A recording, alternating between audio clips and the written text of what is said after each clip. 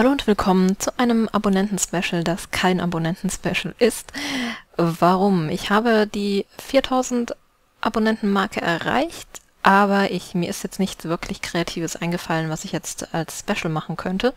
Deswegen äh, gibt's ein Video, wo ich ein bisschen was erzähle, was euch aber vielleicht interessieren könnte, besonders wenn ihr gerade erst mich abonniert habt und neuer Zuschauer bei mir seid. Aber vielleicht gibt's auch ein paar was, äh, paar Dinge für alte Hasen, ältere Zuschauer von mir, die sich vielleicht auch noch hier und da mal was fragen und gern über was über mich wissen wollen. Also, ähm, erstmal vielen Dank natürlich für eure Abos und ich würde euch gerne ans Herz legen, mal bei meinem Kanal vorbeizuschauen ab und zu, denn hier findet ihr immer alles Wichtige.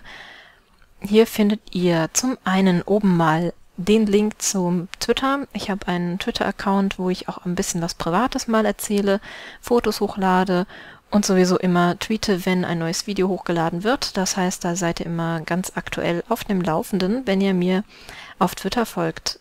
Und dann habe ich ein Forum, das ist nicht mein Forum, das ist unser Forum, nämlich das von Motoko, Matta und mir, meinen zwei Let's Player-Kolleginnen. Die beiden findet ihr, auch deren Kanäle hier unten. Da könnt ihr auch gerne mal draufklicken. Und natürlich aufs Forum. Das ist ein Let's Player Forum, aber auch für Zuschauer geeignet. Das heißt, hier geht's um unsere Projekte. Wir stellen unsere Projekte, die Games vor und wir machen zum Beispiel auch mal Umfragen. Das heißt, ähm, Zuschauer können dann abstimmen. Wir geben aber halt auch Trip Tipps und Tricks für Let's Player, auch sowohl für ältere Let's Player auch als, als auch für einen Anfänger und man kann auch seinen Kanal hier vorstellen und es gibt allgemeine Diskussionen über YouTube, über Games, über alles Mögliche, Literatur, Fernsehen, Musik. Was uns halt alles so einfällt. Wir haben auch einen Chat und da treffen wir uns manchmal und dann geht's eigentlich ganz lustig zu. Also das Forum ist auch eine interessante Anlaufstelle, um mit Let's Playern oder ähm, anderen Zuschauern oder mir in Kontakt zu treten. Ich habe dazu noch einen Zweitkanal, meine Lesestunde. Da lese ich Geschichten aus Büchern vor. Ich habe zum Beispiel aus dem Feueratem Drachen Lesebuch was vorgelesen. Das sind so Kurzgeschichten über Drachen. Ähm, ich lese Grimms Märchen vor und ich möchte demnächst Leseproben geben. Das heißt, ich suche mir Bücher raus, die mir gefallen haben und ja, lese einfach mal ein, zwei Kapitel daraus vor. Das heißt, wenn ihr Bücher mögt oder ja gerne lest oder mir einfach gerne zuhört, könnt ihr hier auf dem Zweitkanal mal vorbeischauen. Ja, dann findet ihr auf meinem Kanal natürlich meine Videos, meine Playlists. Das heißt, wenn ihr mal irgendwo eine Folge verpasst habt, guckt einfach auf der Playlist nach. Da ist ja aufgelistet die Folge, jede Folge. Und ähm, da könnt ihr euch dann in alle Spiele mal reinklicken. Ihr findet hier auch meine aktuellen Projekte und meine beendeten Projekte. Das ist mittlerweile eigentlich schon ganz ansehnlich, was es hier so an Spielen gibt. Die sind auch alle sehr unterschiedlich. Also ich spiele Rollenspiele, ich habe auch schon Shooter gespielt, ich spiele ähm, Minecraft ein bisschen. Sims ist natürlich immer mit dabei, weil ich habe mit Sims angefangen und da so meine größte Zuschauerschaft mit gewonnen. Habe auch Point-and-Click-Adventure gemacht und ähm, möchte auch diese Vielfalt beibehalten. Ich möchte mich also nicht auf irgendwie ein Genre konzentrieren, sondern so wie ich auch privat spiele, möchte ich auf meinem Kanal auch spielen.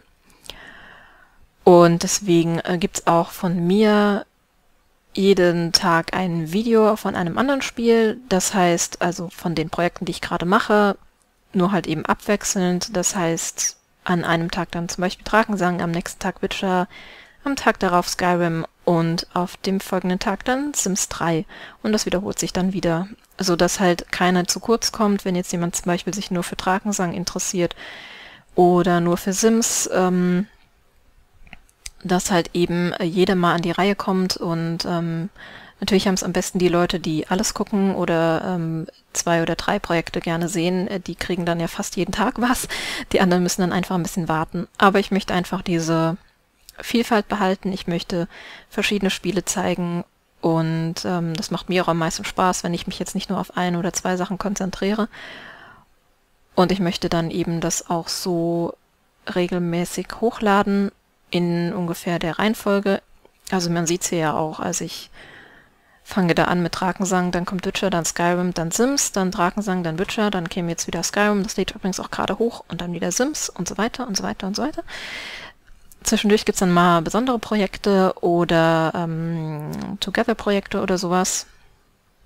Together-Projekte mache ich sehr wenig, habe ich jetzt bisher zwei gemacht mit Mata und Motoko, weil ich die beiden Damen kenne und mag und ich weiß, dass es dann mit den beiden auch klappt, wenn man sowas macht. Ich mache keine Let's Plays Togethers mit Leuten zusammen, die ich nicht kenne oder kaum kenne und ähm, weil das halt auch zum einen sehr aufwendig ist, so ein Projekt zusammen zu machen und man muss sich ein, finde, man muss sich einfach auch gut verstehen, damit das auch unterhaltsam wird und gut klappt. Und wenn ich jemanden nicht kenne, weiß ich auch noch nicht, ob ich mich mit dem verstehe und dann so ein Projekt zu planen ist manchmal ein bisschen, ähm, kann sehr schnell nach hinten losgehen, die Sache. Deswegen mache ich das nicht sehr gerne. Ich fühle mich auch nicht besonders wohl, mit Leuten mich zu unterhalten, die ich nicht kenne. Deswegen bin ich auch auf Skype nicht wirklich aktiv.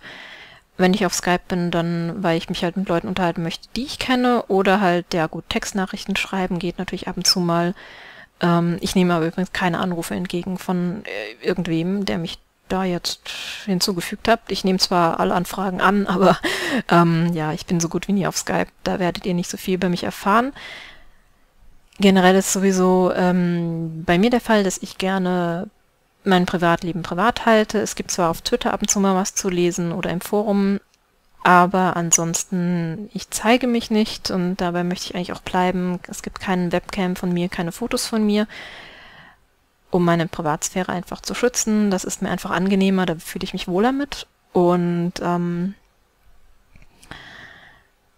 alle Infos, die ihr über mich bekommen könnt, findet ihr eigentlich im Forum auf Twitter. Ich erzähle ja auch manchmal so ein bisschen was. Ich meine, was nicht ähm, geheim ist, ist, dass ich in Mainz wohne, dass ich dort studiere. Ich studiere Buchwissenschaft und Germanistik. Ich bin 29 Jahre alt, also ich werde dieses Jahr 30. Und ich lebe mit meinem Freund zusammen in einer netten kleinen Zwei-Zimmer-Wohnung, die ich übrigens bei Sims 3 mal nachgebaut habe, im Sims 3 Adventskalender. Ja, ähm, damit hört es aber eigentlich dann auch schon auf, was meine private Seite angeht. Mir ist es hier eigentlich wichtig, auf meinem Let's Player-Kanal eben Let's Plays zu machen, mit euch zusammen zu spielen und da Spaß bei zu haben. Und ich freue mich einfach auf Zuschauer, die regelmäßig vorbeigucken und ja, gerne meine Videos schauen. Ihr findet auf meinem Kanal also den Link noch zu Twitter, zum Forum, zu meinem Zweitkanal, aber auch äh, direkt im Forum zum Beispiel habe ich eine Seite erstellt über Sims 2 und Sims 3. Also wenn ihr zum Beispiel bei Sims wissen wollt, welche Download-Seiten ich benutze oder Interesse an meinem Downloads-Ordner habt oder solche Dinge, dann solltet ihr unbedingt mal hier draufklicken auf Sims 2 und Sims 3 Downloads, diesen Link hier. Dann kommt ihr nämlich auf diese Forenseite, wo ihr solche Sachen nachlesen könnt. Tweets, Downloads-Seiten, nützliche Links. Auch meine Tutorial-Videos sind da nochmal verlinkt. Und eben auch mein Download-Ordner für Sims 2, aber auch mein Downloads-Ordner für Sims 3. Der besteht übrigens aus zwei Teilen und ist auch ziemlich aktuell. Und hier zum Beispiel findet ihr auch die ganzen Links zu den Download-Seiten, die ich benutze. Ähm, ja, das findet ihr im Forum, solche Sachen, und die sind dann her extra nochmal verlinkt, damit ihr nicht im Forum groß suchen müsst. So könnt ihr nämlich dann auch, wenn ihr irgendeine andere Frage habt, egal welche, auf FAQs drücken. Das heißt, häufig gestellte Fragen. Wenn jemand mir schon mal öfter eine Frage gestellt hat, habe ich die wahrscheinlich hier beantwortet. Und das könnt ihr dann nachlesen. Zum Beispiel, ob ich Skype habe. Gut, die Frage habe ich eigentlich vorhin schon beantwortet. Ähm, wie ich meine Videos aufnehme, dass ich zum Beispiel das Programm Fraps benutze und ähm, welche Grafikkarte ich habe, was für einen Computer und solche Sachen findet ihr dann hier beantwortet unter FAQs häufig gestellte Fragen. Ich habe auch einen Spenden-Button, das interessiert vielleicht eher die älteren Leute von euch, die ein eigenes Bankkonto haben, sich mit PayPal auskennen. Und wenn ihr gerade, keine Ahnung, ein paar Euro zu viel habt, dürft ihr gerne spenden, aber das ist natürlich ähm, ganz freiwillig. Das Geld fließt dann einfach in die Spiele ein, die ich dann ähm, let's play. Ja, das ist mein Kanal und ähm, ich möchte meine Let's Plays, wie gesagt, vielfältig halten. Ähm, ich spiele privat eigentlich fast jedes Genre, von Shooter über Rollenspiel bis eben sowas wie Sims oder Point-and-Click-Adventure, auch mal ältere äh, Spiele. Und das möchte ich eigentlich auch so in meinen Let's Plays machen.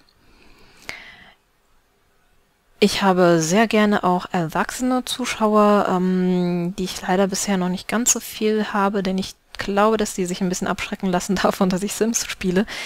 Soll es aber nicht sein. Also ich biete, glaube ich, genug anderes, gerade sowas wie The Witcher 2. Jetzt ist der eigentlich ein Erwachsenenspiel, es ist ja auch ab 18 und ich denke, da kann auch ein Erwachsener viel Spaß drin haben man kann ja dann sowas wie Sims einfach ignorieren, muss man sich ja da nicht angucken. Und für die Jüngeren unter euch, die Spaß an Sims oder allen möglichen anderen haben, kommen hier ja eigentlich auch nicht zu kurz. Ich hoffe also, dass ich für jeden was biete. Ja, das ist mein Kanal und das